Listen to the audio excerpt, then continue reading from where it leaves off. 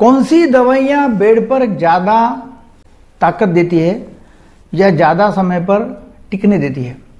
इसके बारे में बातचीत करूँगा। मेरा नाम है डॉक्टर दीपक केड़कर मैं मनोविकार, सेक्स, रोग सम्मोहन तथा व्यसन मुक्त तज्ञ महाराष्ट्र में मुंबई, पुणे, अकोला, यहाँ पिछले सैंतीस साल से प्रैक्टिस कर रहा हूँ।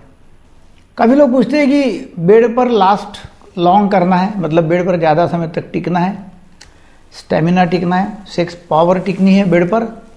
तो कौन सी दवाई लेना चाहिए?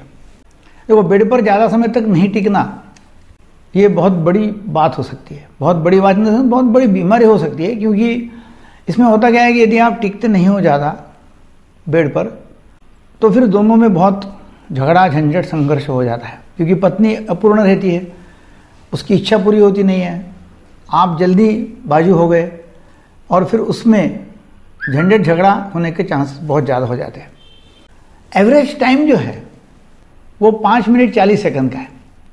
ऐसे अनेक स्टडीज़ में बताया गया है कि एवरेज टाइम बेड पर इंसर्शन करने के बाद में मतलब योनि में लिंग का प्रवेश होने के बाद में, पाँच मिनट चालीस सेकंड का एवरेज टाइम है। दो मिनट से लेकर बीस मिनट तक भी टाइम है। कोई दो मिनट चलता है, कोई बीस मिनट चलता है।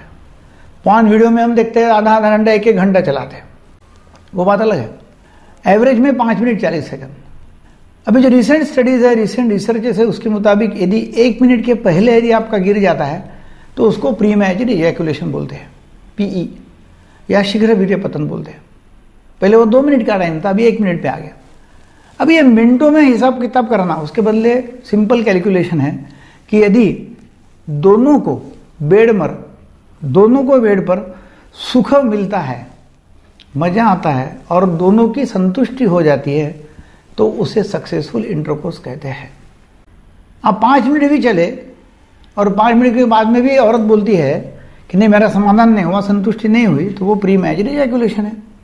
सीधी बात है। तो उसके लिए हमारे पास में काफ़ी सारे मैंने वीडियोस बनाए हुए हैं।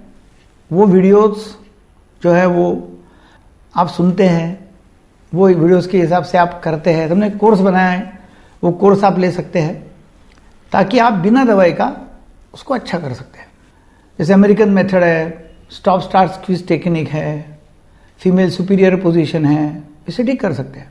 कीगल्स एक्सरसाइज है, इसे ठीक हो सकता है।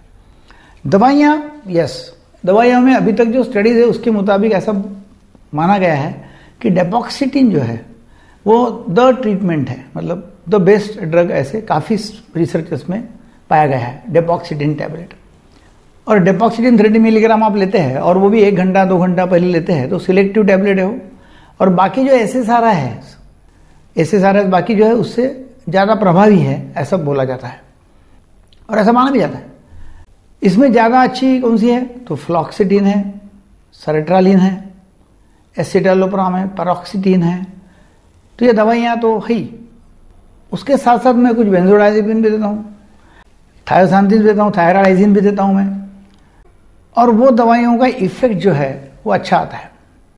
इसके साथ साथ यदि हम सिल्डानाफिल टारालाफिल वर्दानाफिल अवेनाफिल ये पी डी फाइव इनिबिटर्स भी देते हैं तो उसका भी बहुत अच्छा फ़ायदा हो सकता है। तो ये दवाइयाँ आप लेते हैं तो डेफिनेटली फ़ायदा होगा। लोकल एनेस्थेटिक स्प्रेज काफ़ी अच्छे आए हुए हैं अभी। लोकल एनेस्थेटिक स्प्रेज है ऑइंटमेंट्स है। आयुर्वेदिक तेल है। तो वो लगाते हैं तो उससे थोड़ा नमनेस आता है और उससे फिर फ़ायदा हो सकता है लास्ट लॉन्ग हो सकता है।